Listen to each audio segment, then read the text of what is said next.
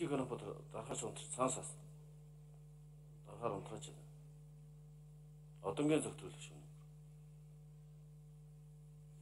Аа за. За баярлалаа. Төсвийн тодтол хэлж тусаар хэлцэж байна. Төсвийн тодтол хэлцэн гэдэг нь мэдээж баг төсвүүдээр орлого тасарч байгаа учраас л тухай орлогын тухай яриад баг өрн хөстөн болов гэж ойлгож байгаа. Тэгэхээр Монгол улсын төсөв бүрддэг, орлого бүрдүүлдэг хэсэг гэвэл хуруу дараа тоолчих цөөхөн зүйлжин дардаг баг. Тэгэхээр энэ тухай л асуух гэсэн юм төсвийн төслөөс харахаар оны эхний хагасчлалын байдлаар 3.4 их 80-ийн орлого олно гэжээд нийтдээ дахиад бүтэн жилээр 10.7 их 80-ийн орлого олно гэжээ. Энэ өөрөө боломжтой юу? Хоёрдугаар хагас нь хүндрэлт улам хүндрэлтэй байж болох хоёрдугаар хагас эхний хагасаас бүр үеийг орлого олох боломжтой гэжээ. Энэ дотор ингээд задлаад харахаар ганц хоёр тоо байна. Аж ахуй нэгжийн орлогын татвар эхний хагасчид 900 төгрөгийг олцоод байхад хоёрдугаар хагасад 2.6 их 80 тэгээд төсвийн орлогоор тавьсан байна л да. Эхний хагасчилд 900 тэрбум, хоёрдугаар хагасд 2.6 их 80 гэдэг чинь баг 3 дахин шахуу аж ахуй нэгжүүд тийм их өндөр ашигтай ажиллах юм уу? Хоёрдугаарт нь дахиад төсвийн бүрдэлтэн дээр хамааралтай нэг зүйлийн нүүрсний орлого татвар маа төсөлтөх нөлөөтэй баг. Тэгэхээр нүүрсний бодит хэмжээг хэд гэж авсан бэ? Тоо хэмжээг өнгөрсөн эхний эхний хагасчилд чинь бараг 20 20 гаруй сая тонн гарах ёстой гэж байгаас 8 билеттэй байгаа. Тэгэхээр одоо үлдэх ахс хэд гэж авсан бэ төсөвдөр. 3 дугаарт нь зэсийн үнийг хэд гэж авсан бэ? Энэ өөрөө гол нь эдгэрийг асуугаад байгаа хэр зэрэг бодтоо төлөвлөсөн бэ? Орлогч нь дахиад асуудал үүсэж дахиад тодголын асуудал, хүндрэлийн асуудал гарах юм биш үсттэй гэж.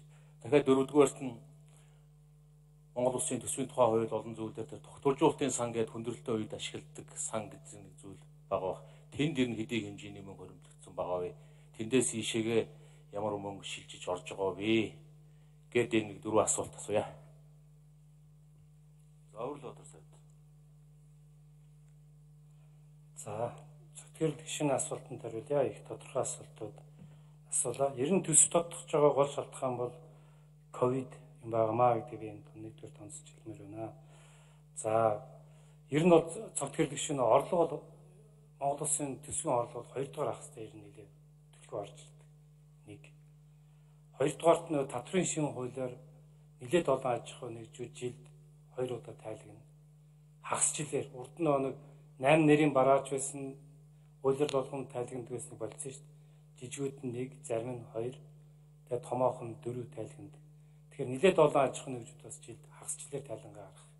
Үүний дараагаар одоо татруу төлөв явах учраас бид нэр хоёрдугаар хагас дээр нэлээд орлогоос таны хэлдгээр 2.2 одоо их найдаар тавьсан гэдгийг би хэлмээр байна. За нүүрсний гаргалтын хэмжээ бол нэлээд таар байгаа. Гэхдээ сүүлийн үед бол энэ манай уул уурхай яам, гадаад хэргийн яам, за холбогдох яамдууд бол нэлээд сайн ажиллаж байгаа. Ингээд нүүрсний гартын хэмжээ бол ааж маажмаар нэмэгдээд байгаа. Тэгээ бид нар төсвөр бол 25 сая тонноор одоо авсан байгаа. Тэгээ энэ дээр одоо 25 сая тонн нөөц гаргачвал ер нь нэлээд болчих болов. За ер нь сүүлийн хэсгүүдээ өдөрт нь 2000 орчим машин гаргах зүгээр байна гэдэг ийм байдлаар бол бас шахаж ажиллаж байгаа гэдгийг бол хэлье. За зэсийн үнийг бол бид нар 6400-аар бол тооцсон байна.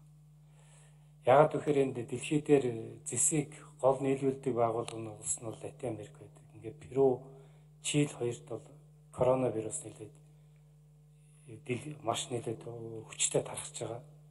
Тэр тусмаа уурхаанууд дээр коронавирус гарчихсан учраас энэ хоёр улсын үйлдвэрүүд зарим нь зогссон, зарим нь хагас хүчин чадлаар ажиллаж байгаа учраас зэсийн одоо үн дэлхийн зах зээл дээр 6400 болж өссөн байна.